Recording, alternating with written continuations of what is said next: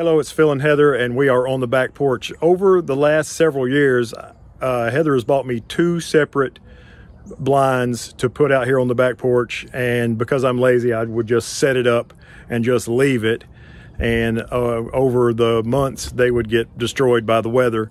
And I kept thinking, man, I need to make a somewhat permanent blind out here. And today we did it. And uh, I'm going to show you a time lapse that I made of it. Right now I'm using my iPhone to, to vlog this, but I used my Nikon Z50 for the time lapse. So let's watch that. And then at the end, I'll show you um, around our new semi-permanent blind.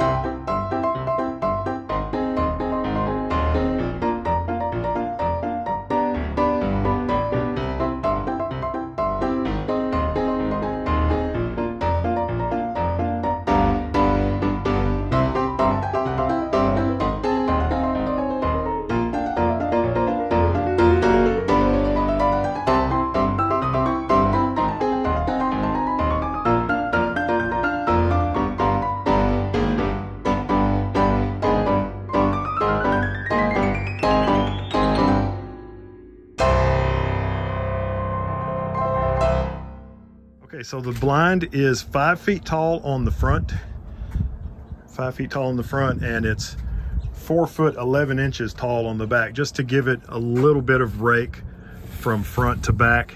So hopefully the water will drain off of it. The walls of the blind are three feet tall, which match the railing of our back porch.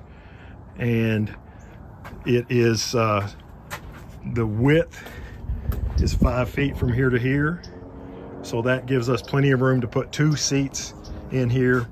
And the depth of it from front to back is four feet. So it's four by five and five feet tall. And it has this tarp on the top, which is pretty, pretty serious tarp. And it's, I know it's super redneck and it's kind of screwed on with these big washers, but there is, there is a piece of particle board under here. It's not just the tarp by itself. Here's the view from inside the blind. You can see uh, I'm in Heather's chair. My chair is, is uh, two chairs stacked on top of each other because I like to sit up a little bit higher. And uh, I'm in Heather's chair. And over here, here's the view out of the blind. The back porch is a complete disaster area right now because we just got done building this thing. But we're going to put up, look right there. There was a downy woodpecker that just came up. Now we're going to add uh, um, we're going to add some more feeding stations and some more prop perches. And also we're going to add some, some uh, camo netting over the window. So only our lenses will be poking through, but we'll be able to see through the whole window through the camo netting. But uh, anyway, that is the blind. thanks for watching our totally crazy redneck back porch blind that we built.